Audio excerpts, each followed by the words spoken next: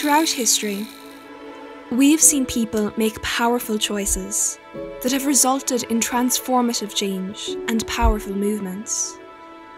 Nelson Mandela, Greta Thunberg, Mary Robinson, Malala Yousafzai, and Rosa Parks. I resisted the idea of being mistreated and pushed around because of my race. We have seen people power, or social movements, grow from an individual idea, from a small group's determination to change something that they felt to be unjust, unfair, or discriminatory. To make that one small change, creating a better world. Power can be defined as having control, authority, or influence over others.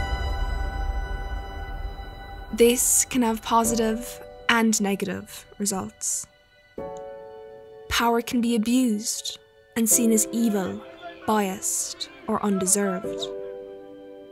Power can be seen as good, even handed, positive, and transformative. It can be something inherited, gained, or given for exercising values that will help move and empower others for the good of people and planet. Power inequalities have been in existence throughout the history of humanity, and they are still very much present in today's world.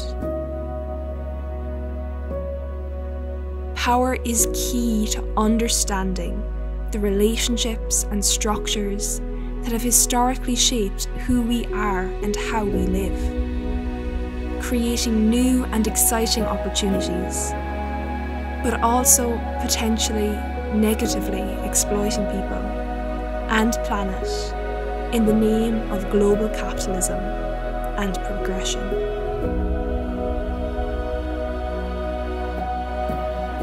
Power is available to young people and within young people how well they understand it, recognise it, and use it may just determine the future of all life on this planet.